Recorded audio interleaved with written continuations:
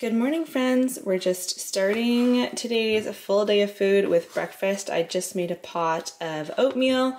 I did put some of these raisins in there too, and often the kids will sprinkle some raisins in their oatmeal like after it's been served, but then sometimes we just cook it in. So today I just put a couple handfuls in while the oatmeal was cooking. As you can see, it's steaming. Very hot. The kids will each put brown sugar into theirs and that is breakfast for the kids today. I'll show you a little bit later. I'm gonna have something different.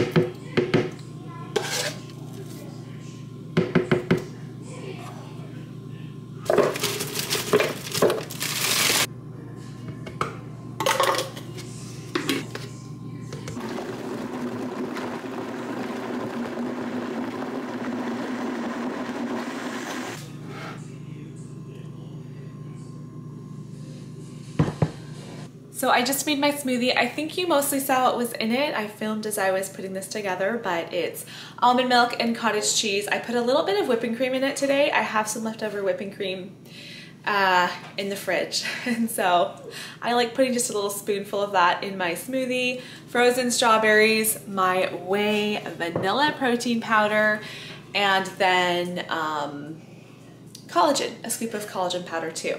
I actually am like just about done my vanilla protein powder. I think I have less than a scoop left. And so yesterday I ordered some more from Amazon. That should be arriving, I don't remember if it was today or tomorrow.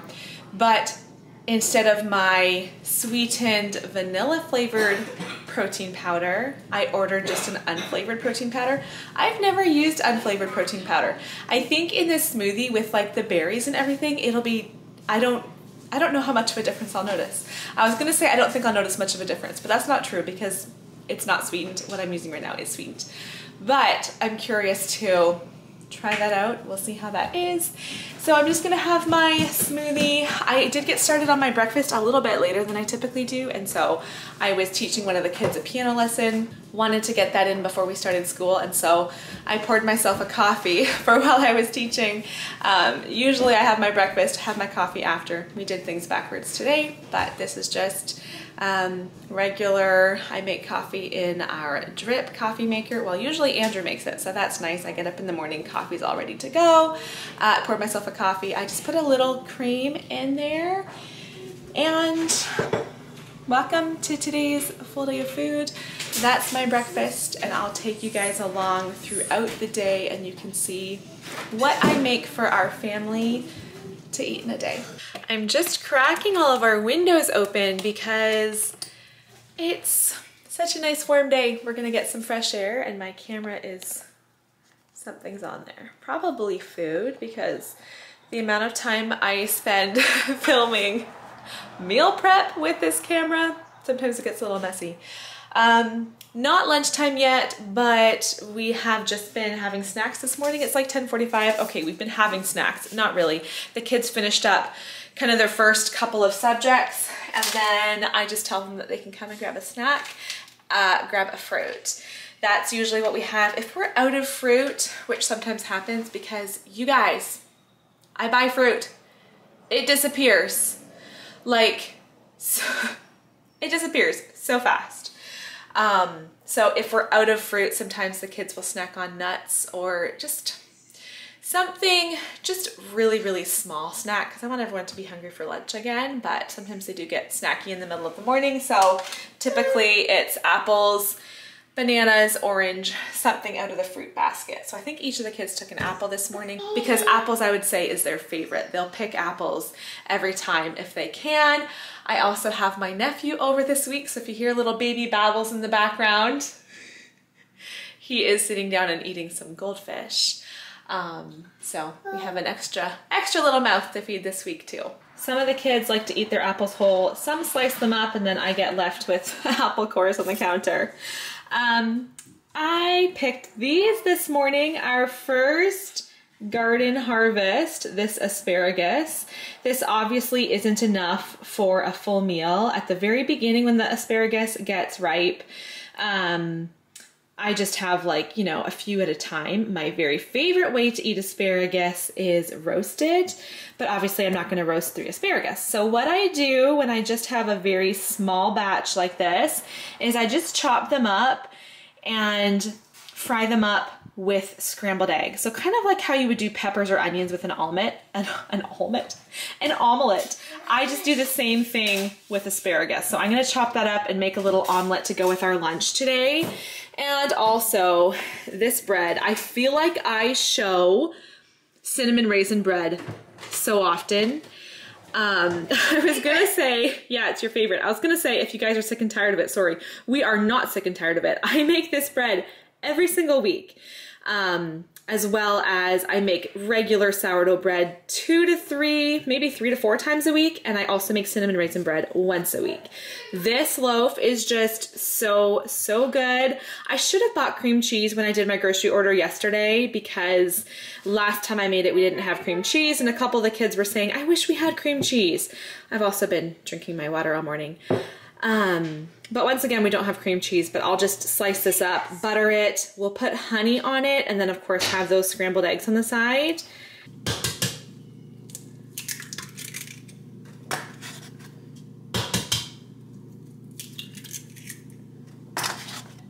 Twelve, doing a full dozen eggs here today.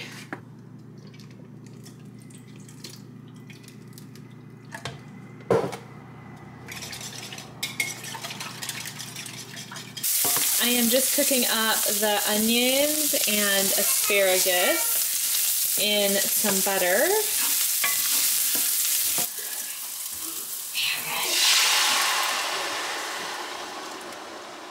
Time to slice up this loaf.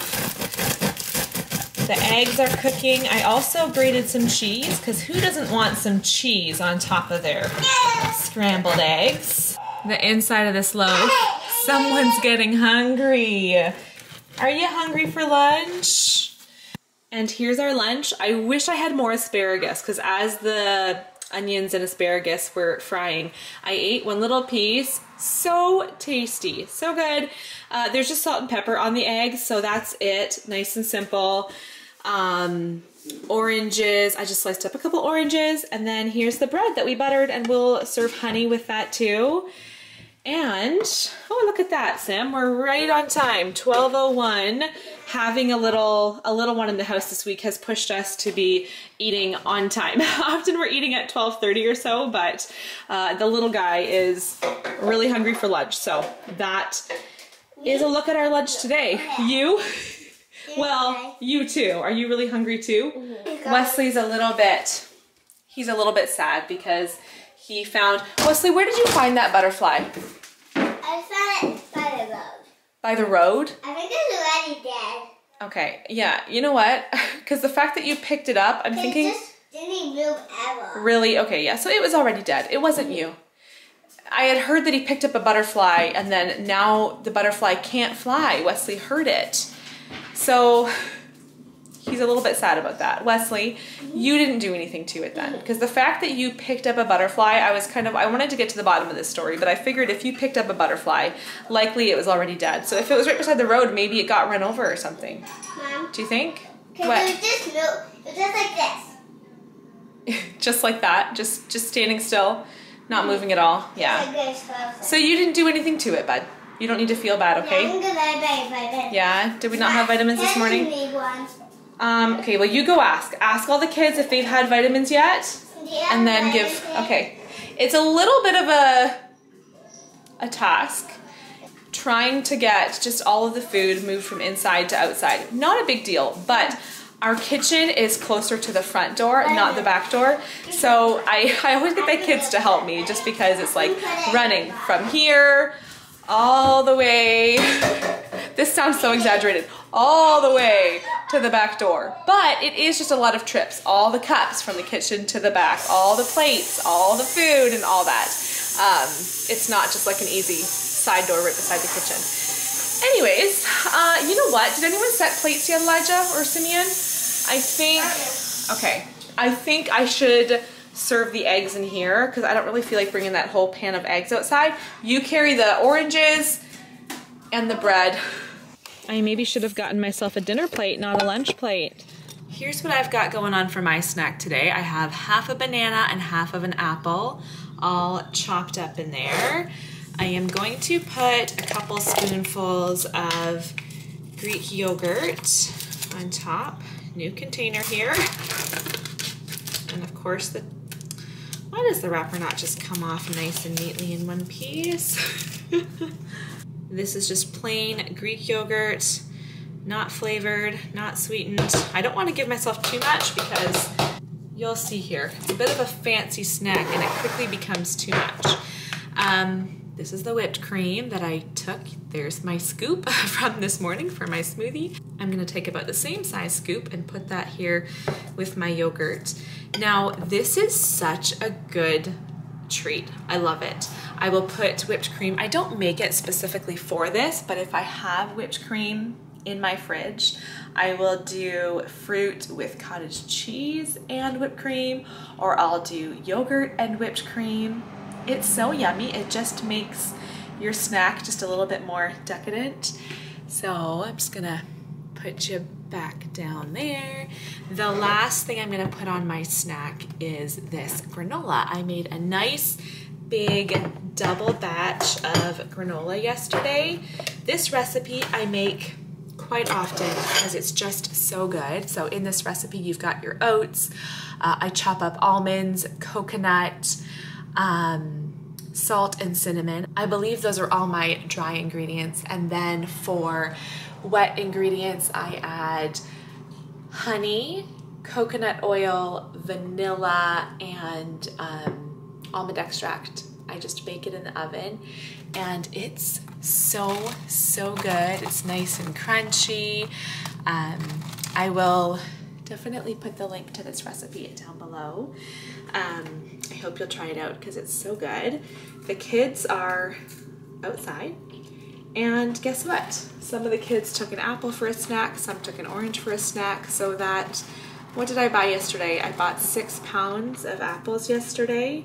Now I have a half in my snack here too, but of those six pounds of apples, we have two left.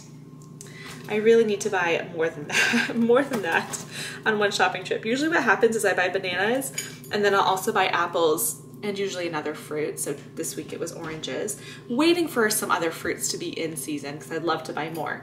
But what usually happens is the kids will eat a banana here or there, here and there, and then they'll mostly eat like the apples and whatever other fruit I buy because I'd say they like those better. But bananas, they're good and they're so cheap. Like they're just the most affordable fruit for sure. And my kids like them. They just pick other fruit first. So then once all the other fruit is gone, then they eat all the bananas. They do. And there's my snack. See, just a little bit of this, a little bit of that, and just like that, I have a full bowl. I am just warming up another coffee for myself there. And we've reached that time of year, the summer season, AKA the baseball season. And we have, I was gonna say we have two boys playing baseball. Incorrect, we have three boys playing baseball this summer. So what that means for us is that most evenings we need to be out of the house between 5 and 5.30 and so that makes dinner time tricky. I am going to try to get dinner together tonight for 4.30. It's 10 minutes to 4. I don't know if that's going to happen. If we end up eating and it's almost 5, that's okay. We can quickly eat. We can probably leave the house, yeah, 5.30, 5.40 tonight but it does make it a little bit crazy. It makes my afternoon so short when I have to prep dinner early. And then, of course, it's just kind of the rush of like, let's go, let's eat, we gotta get out the door. But that's that's what we enjoy about the summertime. And uh, I'm gonna make a new recipe tonight. So this recipe is a ground beef and sweet potato skillet. It looks pretty simple but it is gonna take a little bit of time for those sweet potatoes to cook. So I need to stop facing you guys and talking and I need to start dinner prep. Here I've got my beef and onions cumin chili powder salt pepper. Onion on the side there and some garlic. So this just needs to cook all the way through. Sorry about the shaky camera. And I need to get started peeling and chopping sweet potatoes. I'm sure you can hear the beef sizzling away over there. And I am just like motoring here. I kind of got started late and so it'll be fine. But I'm going to slice these sweet potatoes up nice and small so that they cook up fast. You guys are on my little tripod. I haven't taken out my big tall tripod all day, so you're not getting great angles right now of me getting dinner together. But the next thing I need to do here is get all my meat off of the pan and then my sweet potatoes are going to go into the pan with water and diced tomatoes. What else? Some more spices. This recipe calls for a lot of spices. I'm definitely cutting down on those because, you know, I am very conscious of my little kids. Apparently it should take about 20 minutes for the sweet potatoes to get soft in this pan, cooking it this method. So we'll see. All right, I've got my sweet potatoes, diced tomatoes, water, a few more spices, just like I did about half or a little under half actually what the recipe called for because there's already spices in the meat too. We'll see how this much spice tastes. I don't want to, I'd rather be on the light side than on the heavy side. So this just needs to come to a boil needs to simmer for a little while and I'm supposed to cover it. So I typically, for this cast iron skillet, I just put this wood cutting board on top and let those cook. Okay, the sweet potatoes are done. Let's just ask if they're oranges. they're sweet potatoes. Um, and you know what? That was right about 20 minutes. So not bad, not bad. I'm gonna pour all that beef back in. Now I am just waiting on the cheese to melt for one minute and then it will be time to eat supper and then we head out the door and I already got the kids all to grab sweaters, water bottles filled, um, snacks, yes, snacks, that's the whole reason I'm talking about this. I just pulled this bag of sourdough blueberry muffins out of the freezer earlier this afternoon, so there's six in there for snack. I'm thinking that one muffin won't be enough. We'll probably bring, I don't know guys, something. Probably something else for a snack.